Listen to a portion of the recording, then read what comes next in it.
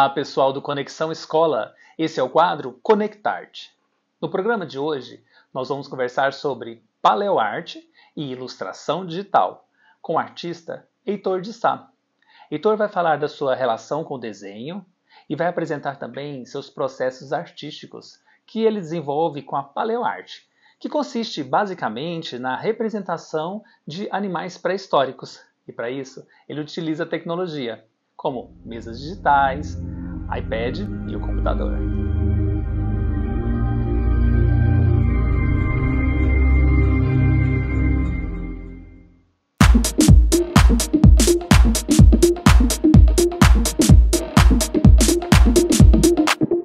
Eu sou Heitor de Sá, é, eu sou ilustrador digital, artista goiano, eu tenho 22 anos e Bem, a minha principal temática que eu trabalho nas ilustrações é a paleoarte, que seria a representação dos animais pré-históricos. Não se consiste somente em dinossauros, né, embora esses sejam os exemplos mais famosos. Então, geralmente, as minhas ilustrações, elas têm, elas abordam essa temática. Né? Eu, eu posso fazer outro, outros tipos de, de ilustração, com outro tipo de temática, algo mais fantasioso, mas é, o que eu foco no meu trabalho então seriam esses animais pré-históricos. Desde pequeno eu já desenhava algumas coisas, minha mãe falava que algumas formas ela já identificava. Eu tinha algumas alguns hiperfocos na infância, como trem, cobra, baleia e os dinossauros.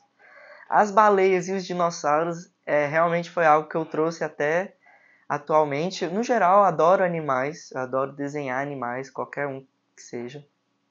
Mas os dinossauros eu tenho um apego muito forte. É, eu, come... eu desenhava muito no papel. Eu lembro de ir para o restaurante com minha mãe e perguntar assim: Nossa, mãe, você trouxe papel e caneta para eu ficar aqui desenhando? E era meu passatempo. É, até 2018 eu ficava no papel desenhando com caneta nanquim, essas, essas coisas, lápis e borracha, até que eu ganhei uma mesa digital e foi quando eu me introduzi no universo da ilustração digital mesmo. Não da ilustração, eu estava começando, então estava apenas treinando. Eu utilizava o programa Photoshop no computador e tentava então, é, através dessa mesinha digital aqui, né? Essa é a mesinha, ela vem com a caneta aqui. A gente conecta no computador e eu vou desenhando aqui por cima. Então, por muito tempo eu me mantive nessa dinâmica, até que já tem uns dois anos em que eu comprei o iPad. E agora eu estou desenhando nessa nova ferramenta. É, o aplicativo anterior do computador era o Photoshop.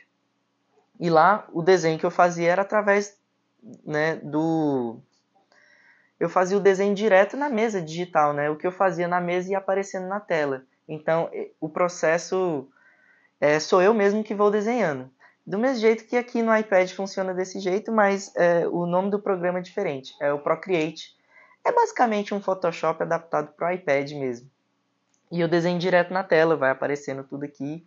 Aí eu tenho uma, uma série de configurações de pincel para eu poder fazer pintura, para eu ter algum pincel melhor para apagar, outro para desenhar. Né? Tem que ter uma precisão diferente. É, eu vou falar um pouco então de como funciona o processo da paleoarte, né? que é a minha principal pegada. É, então, essa temática ela consiste na reconstrução, é, principalmente com referência é, em artigos científicos, nas reconstruções de animais pré-históricos. Né? Então, com um reforço de pesquisa e técnica científica para a gente tentar reproduzir esse animal da melhor forma possível, né? Então, da forma mais próxima do que ele poderia ser. A gente não sabe exatamente como um animal pré-histórico seria, mas tem algumas formas da gente chegar numa aproximação. Esse é o trabalho que os paleontólogos trazem para a gente. E eu, como paleoartista, eu usufruo das pesquisas, dos artigos científicos, dou uma leitura e também do trabalho de outros paleoartistas que trabalham nessas pesquisas, trazem imagens para eu poder reproduzir aquele animal da minha forma. Esse é um processo que, é, embora a gente fala que eu não quero tirar ele, né, separar ele da, da questão científica, mas ele tem partes de processo que podem ser subjetivos do artista. Por exemplo, a questão da coloração. É, a gente não sabe a coloração de, dos animais pré-históricos, enfatizando os dinossauros, por exemplo, e cabe a nós é, supor né, como seria esse tipo de aparência deles. E a cor é uma coisa que a gente tende a comparar esses animais com os representantes mais próximos vivos hoje, né? O que a gente pode ter como base é a nossa vida atual, nosso cenário selvagem atual, e tem algumas formas da gente pensar a coloração desses animais. Primeiro é que tipo de ambiente esse animal ocuparia, né? Então a gente percebe que animais que vivem em um ambiente mais desértico, eles tendem a ter uma coloração mais amarelada, pode ser claro ou escuro, mas vai do tom amarelo, laranja. Então faz sentido um animal pré-histórico de uma região desértica você pensar nesse mesmo tipo de coloração. Diferente do animal de floresta, pode ser mais esverdeado, tons mais escuros, né, cores mais frias. Esse é um exemplo. O outro é a gente comparar com os animais mais próximos com aquele que você quer representar. Então, vou pegar os dinossauros, por exemplo. Os animais mais próximos que a gente tem vivos hoje dos dinossauros são os répteis, mas principalmente as aves. As aves são os parentes vivos dos dinossauros, são dinossauros, na verdade, né? E a gente percebe que, assim como os dinossauros que foram extintos há muito tempo, as aves possuem estruturas de exibição que são totalmente coloridas. Então, assim, é uma questão mais subjetiva porque tem muito paleoartista que gosta de representar esses animais numa coloração mais neutra, mais apagada, e outros, como eu, que gostam de representar eles em algum aspecto mais colorido. Tem muito dinossauro com crista, é, placas ósseas ou uma grande vela dorsal nas costas, e essas coisas que são é, de exibição, eu tendo a pensar, comparando com as aves, que também têm estruturas assim, que elas podem ser coloridas. Então, é uma parte subjetiva que torna o processo da paleoarte algo bastante imaginativo. Outra coisa que eu posso falar do meu processo é algumas etapas que eu sempre reúno, que elas são, digamos que, eventos canônicos do meu processo de desenho. É, eu não crio esses animais do nada, eu, eu me imuno, eu reúno várias referências, principalmente de reconstrução do esqueleto desse animal. Essas reconstruções esqueléticas podem ser imagens que foram montadas em museus mesmo, imagens tiradas de esqueleto montado em museu, ou mesmo as ilustrações científicas que foram feitas por outros paleoartistas e foram divulgadas nos artigos.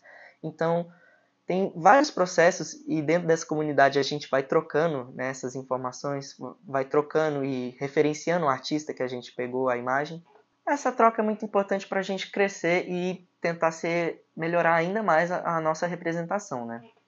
Então, eu sempre pego representações esqueléticas, é, eu enfatizo algumas partes, por exemplo, o crânio, e eu tento fazer um desenho de observação daquela imagem. Então, eu não contorno por cima, eu já fiz isso antes, mas a melhor coisa é a gente tentar fazer um desenho de observação, porque aí é o seu traço, e você vai percebendo coisas que, traçando mesmo, você apenas está né, fazendo de uma forma é, automática, você não está percebendo detalhes. Então, eu gosto de praticar o desenho de observação com essas imagens. Quando eu faço então esse desenho da reconstrução esquelética, aí eu vou para outro tipo de referência, que é a segunda parte, a segunda etapa, que são o preenchimento da musculatura. E também a gente tem várias imagens, inclusive artigos, né, demonstrando como, onde que é a ancoragem de musculatura nesses animais, nesses répteis. Então, eu tive que ler. Hoje em dia eu já tenho mais mentalizado na cabeça como que é a reconstrução muscular, mas eu ainda pego várias imagens para ter referência. Então, basicamente, a etapa de reconstruir o esqueleto é para eu saber as dimensões, a proporção do animal, e a etapa da musculatura para eu saber que como que seria simulado num papel ou num, num iPad aqui, num, num documento digital, como que seria simulada a musculatura, é, o volume desse animal, né? E depois disso tudo, aí sim eu começo a desenhar por cima. Então são essas três etapas que eu faço, né? Esqueleto, musculatura, e aí sim eu desenho por cima. Depois que eu tenho o desenho do meu dinossauro, aí eu vou pensar a questão das cores, que é aquela etapa que eu já expliquei. E aí no final a gente tem, por exemplo, um desenho como esse, em que minha etapa foi exatamente essa, com alguns estudos de cabeça aqui embaixo, mas esse corpo foi inteiramente assim. Peguei uma referência do esqueleto, da musculatura, desenhei por cima e cor. É, bem, como eu mencionei no início, é, eu disse que eu sou um ilustrador digital goiano e eu trabalho com encomendas, né? Eu sou freelancer, faço comissões. Eu já atuei em alguns canais do YouTube né, de ciência, de divulgação científica.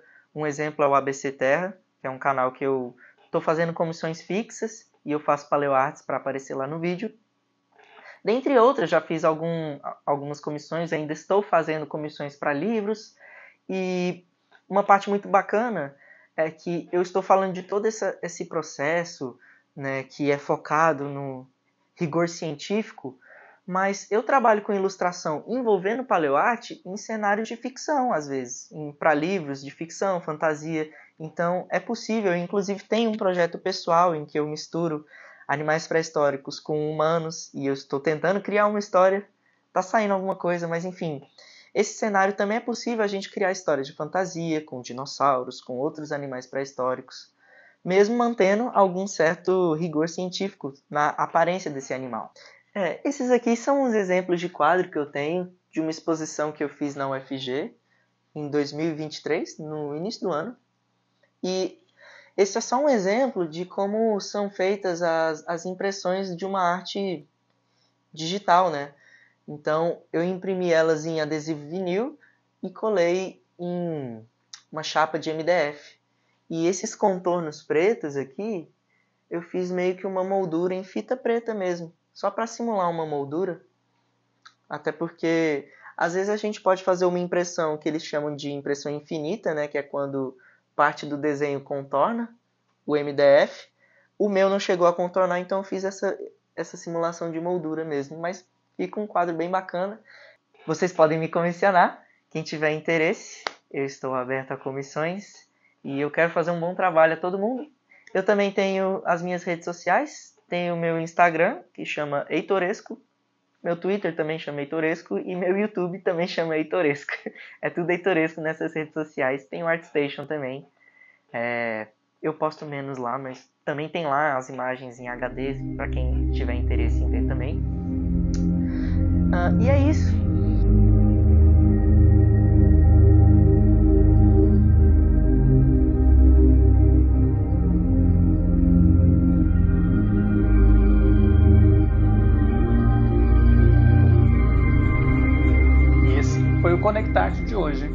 O nosso próximo programa, sempre com muita arte para vocês.